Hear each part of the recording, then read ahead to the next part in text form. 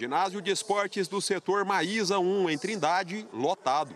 300 famílias vão sair daqui hoje com uma cesta garantida. Vai ajudar bastante, né? Até porque eu estou desempregado, né? Tenho cinco filhos. Só agradeço, né? Alimento para o corpo e para a alma também.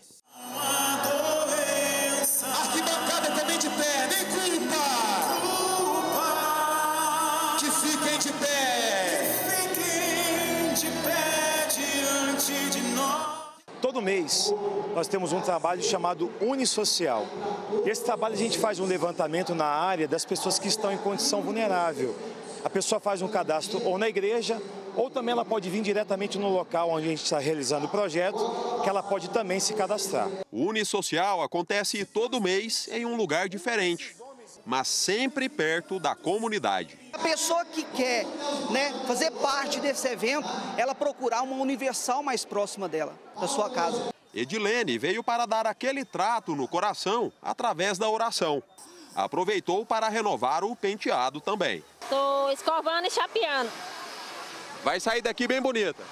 Se Deus quiser e Ele quer, né? Atendimento jurídico, manicure, peças de roupas, tudo de graça.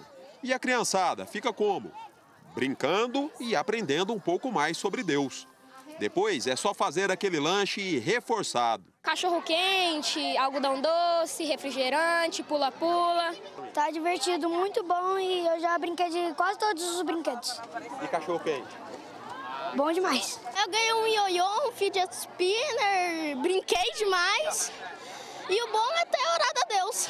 Você que é de Trindade e quer participar da próxima edição do Unisocial, anota aí os endereços para fazer o cadastro. Você que mora próximo à localidade do setor Ponta Caiana, aqui em Trindade, você pode nos procurar na Avenida das Palmeiras, na quadra 32, no lote 20, bem no centro do bairro. Você pode procurar a Igreja Universal aqui na Avenida Goiânia, na quadra 9, no lote 137, diariamente das 7 da manhã às 9 da noite e nós vamos cadastrar você e te ajudar no próximo Unisocial que nós vamos realizar aqui na nossa região. Nós estamos localizados na Avenida das Nações 356, quadra 47, lote 11. Já você que mora em outros municípios, pode procurar a Universal mais perto da sua casa.